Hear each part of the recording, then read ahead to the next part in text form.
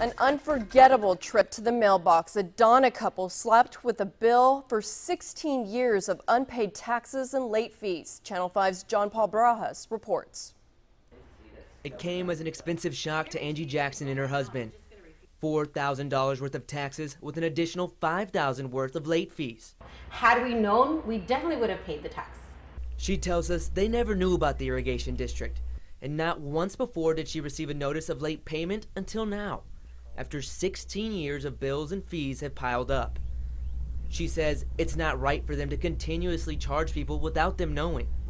All they're going to do is add more penalties and interest and forever, apparently. She went to speak with the Donna Irrigation District today. She tells us that lasted all of 10 to 15 minutes before they said there was nothing that could be done and the Jacksons would have to pay. It's not going to end here. They will hear from us more than just from today. We reached out to the Donna Irrigation District but did not get a response. We hope to catch up with them on Monday. In Donna, John Paul Barajas, Channel 5 News.